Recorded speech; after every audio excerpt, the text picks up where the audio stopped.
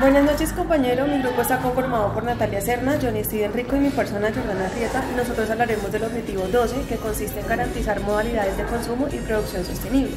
Este objetivo nos invita a todos e incluso a los del sector privado que contribuyamos al desarrollo sostenible, también que le demos un buen uso a los recursos naturales y que por medio de la gestión de derechos hagamos la liberación de contaminantes, en especial Este objetivo busca informar al consumidor en un mejor estilo de vida saludable.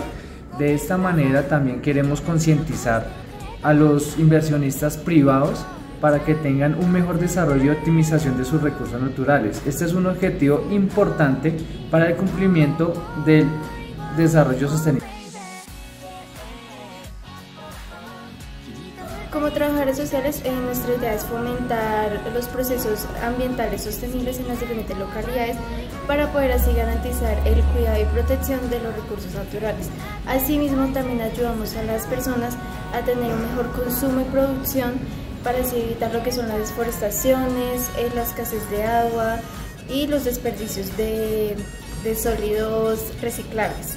Un ejemplo de todos estos procesos podrían ser las huertas, o también el reciclaje y la reutilización de residuos no biodegradables.